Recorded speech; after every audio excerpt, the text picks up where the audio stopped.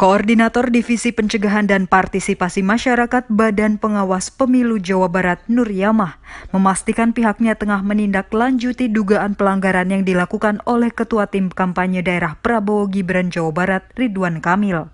Hal itu diungkapkannya di acara sosialisasi aturan kampanye pada platform media massa di Bandung, Jawa Barat, Rabu 17 Januari. Nur Yamah mengaku Bawaslu telah menerima laporan dari DPD PDI Perjuangan terkait dugaan pelanggaran kampanye oleh mantan Gubernur Jawa Barat itu pada acara Jambore Badan Permusyawaratan Desa BPD Kabupaten Tasikmalaya akhir pekan lalu.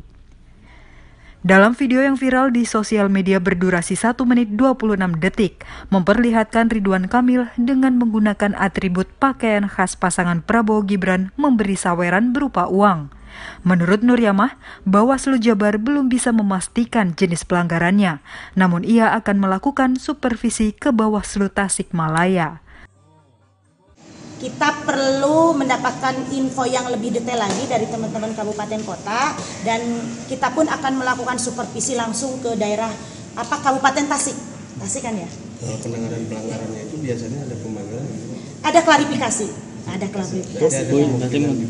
Uh, bisa jadi pemanggilan bisa jadi tidak tergantung nanti hasil dari plenonya teman-teman yang sedang menangani kasus tersebut Sementara itu hingga saat ini Bawaslu Jawa Barat telah menerima 67 laporan dugaan pelanggaran kampanye pemilu 2024 berupa dugaan menjanjikan atau memberikan uang, perusakan alat peraga kampanye APK, pelanggaran netralitas ASN, dan netralitas BPD atau perangkat desa.